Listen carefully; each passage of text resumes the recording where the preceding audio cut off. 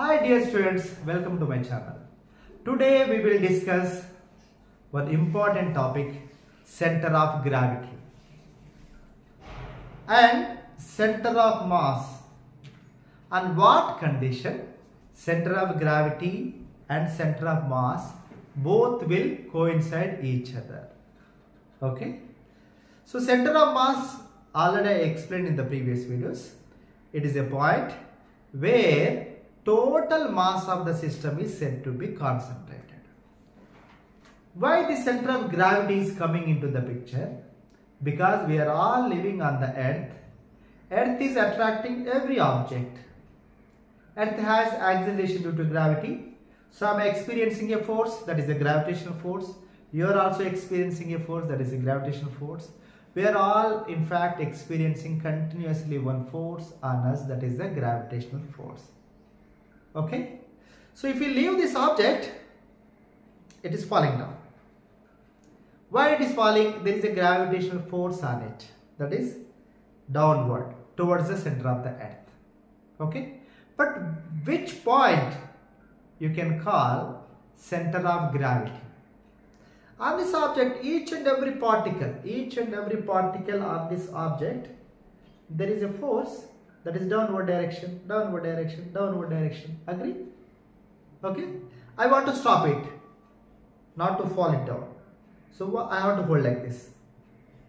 Agree? If I hold like this, what will happen? It will fall down. Means there is one point between this and this where the gravitational force downward can balance by applying upward one force. That point is called center of gravity. Okay. I told in center of mass also. Center of mass means if you apply a force on this object at the center of mass, this object will go translatory motion. This already explained. That is external force, this is gravitational force. That's it. Okay. And what extra you should know about the center of gravity? Here, if you keep any object, the object will first, it will adjust to its position. If I leave like this, what will happen? It will fall down and it is stopped. So the downward force, that is center of uh, the force due to the gravity, balanced by upward force. That point is called center of gravity And in what way center of mass and center of gravity is different? This is the most important thing we should know. Center of mass के लिए we are not bothering gravitational force or any external force only we are bothering. But center of gravity, you have to think about the gravitational force. First question I will ask you. Is the gravitational force is same everywhere? I will clarify in perfect way. Is acceleration due to gravity constant everywhere? No. If you are going away from the earth, the acceleration due to gravity will decrease. If you go inside the earth also, acceleration due to gravity decreases. Going away and going inside, in both the cases, the acceleration due to gravity is changing. Okay, it is decreasing. Again, if you go from uh, equator to poles or poles to equator also, it is changing.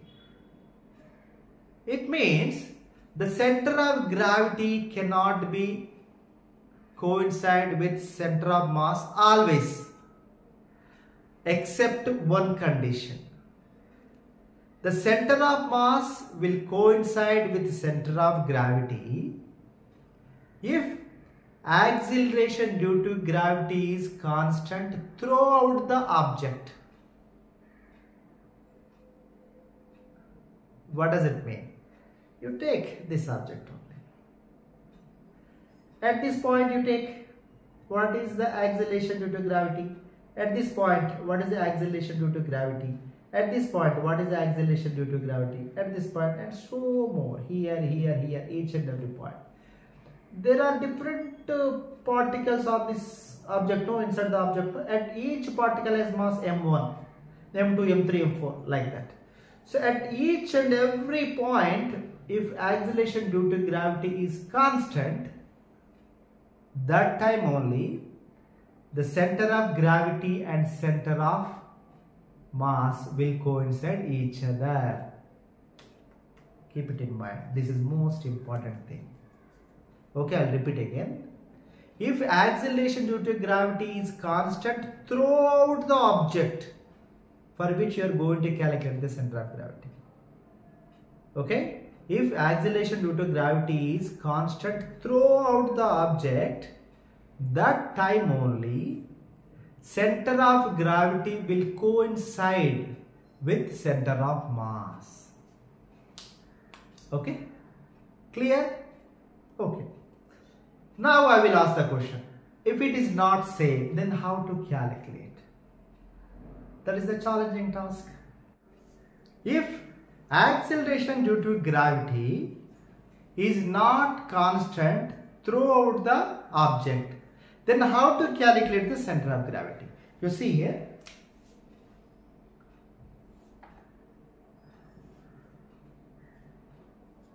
X-axis,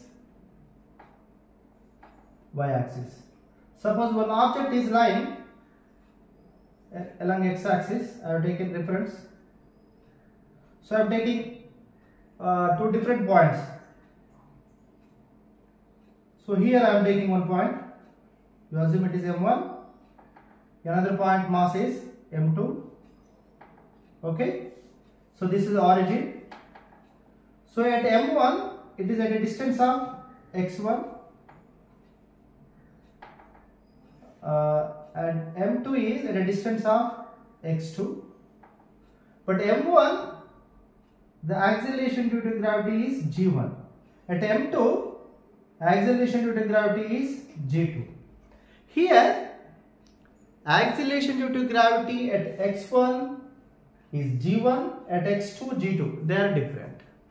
In this case center of gravity you can use this formula xg I am calling. Xg is equal to m1 g1 x1 plus m2 g2 x2 divided by m1 g1 plus m2 g2 this is simple example I am giving. You got it no if G1 equal to G2, you take out common.